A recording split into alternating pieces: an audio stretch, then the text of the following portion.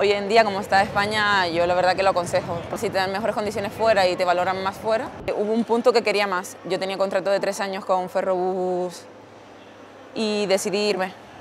Decidirme, me dio la carta blanca y hasta finales de julio, que ya el equipo había empezado la pretemporada, yo no tenía equipo. Pero yo sabía que me quería ir fuera de España y me fui a Dinamarca.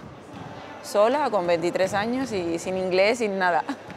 No sé, la verdad que he sido bastante valiente, por así decirlo, y aventurera y los retos para mí son súper importantes. Es como superarte un poco más.